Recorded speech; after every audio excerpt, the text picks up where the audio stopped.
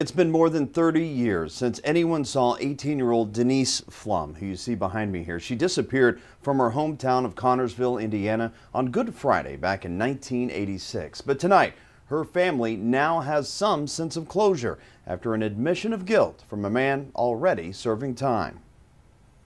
Denise Pflum had a bright future ahead of her. She was a straight A student at Connersville High School, was active in sports, and had a prom to look forward to. I mean, she had everything going for her. I mean, she wants to go to Miami University. She got accepted. She's wanted to go there all her life, and I seriously don't see why she would run away or anything. WCPO 9 News reporter Janet Gross covered her disappearance back in 1986. She was going to look for a purse she thought she'd lost at a bonfire party the night before. She tried to get some friends to go with her, but eventually left on her own. And that's where the story ends, on that country lane where her car was found. Shawn McClung is the man now facing voluntary manslaughter charges. Denise's uncle says McClung was his niece's boyfriend for three years. They'd broken up shortly before her disappearance.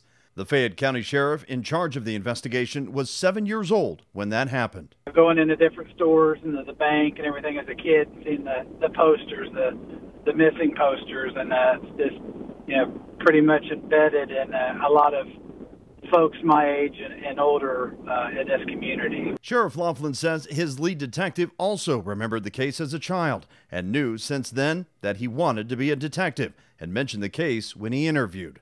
While there is more information to gather, the sheriff says he's grateful the Pflum family can now have some sort of notion of closure. Them having peace of what happened to their daughter and them uh, ultimately uh, being able to have a proper memorial and burial for Denise um, is uh, something that we hope to bring to them. Closure uh, has always been the goal here. He could not comment on whether her body has been found, but did have a final message for any other individuals who may be involved. Anyone that has any involvement or any knowledge, the time's up.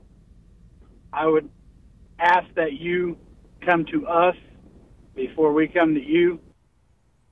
Now, among the things the sheriff could not answer for us today, again, if her remains have been found, that was one of them that we mentioned there, and also how she was killed. We're going to make sure to stay on top of this story, though, for you.